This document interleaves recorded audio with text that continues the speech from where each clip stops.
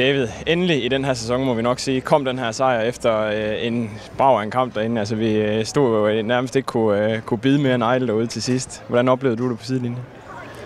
Jamen, øh, det er klart, vi vil jo alle sammen gerne lukke kampen, og vi har også muligheder til det, og det kan vi godt øh, det kan vi bruge. Men altså, det, det er en rigtig dejlig måde. Jeg elsker at vinde på den måde her, fordi det vi siger meget om holdets mentalitet. Det siger meget om, øh, vores fans hjælper os med at forsvare målet. Vi forsvarer, lidt, øh, øh vi forsvarer målet dernede i anden halvleg, øh, og spillerne forsvarer med fansene i ryggen det var bare en fornøjelse at se, hvordan vi løste det øh, hele vejen, selvom de ligger et tungt tryk på os og får slået en masse bold ind i feltet, så er vi, øh, selvom vi er fysisk underlag, så vinder vi en masse dueller i dag, og det var, det var det, der skulle til i dag. Vi, øh, vi havde igen havde vi svært ved at lukke kampen, og svært ved at få scoret det andet mål, men øh, hvis ikke man kan det, så er det vigtigt, at vi kan lukke ned, og det, øh, og det gjorde vi i dag, så det var dejligt. I de seneste seks opgør her på øh, Sears Park, der har Sønderjyske fået noget med hjem. Nu lykkedes det ikke for dem i dag.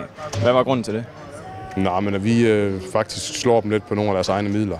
Øh, det, som de altid har været gode til. Øh, og vi får stået imod der, alle deres dødbolde igen, øh, som, som er fremragende. Og vi, øh, og vi får scoret på en af vores muligheder. Flot mål af Bunde. Hvad var det, du se, set udefra, altså rent defensivt? Vi forsvarer godt i dag, holder det her vigtige clean sheet. Hvad var det, vi som hold gjorde for, at Sønderjysk ikke fik scoret mål?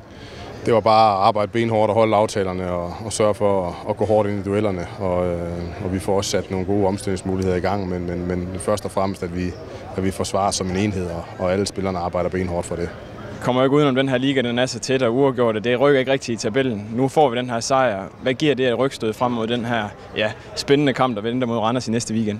Nå, men det er klart, at vi kommer ind til den. Det er en helt anden måde at komme ind til den kamp på. Det er klart, at vi føler, at vi skulle have haft mere ud af både kampen hjemme mod Nordsjælland, men specielt også kampen i Vejle sidst hvor vi føler, at vi, øh, vi burde have vundet kampen, og det kan man godt æve sig over, øh, men jeg kunne heldigvis ikke se spillerne æve sig over det i dag. Derimod så, så arbejdede de benhårdt for at få den hjem i dag, og det var stærkt at se, at vi kunne gøre det.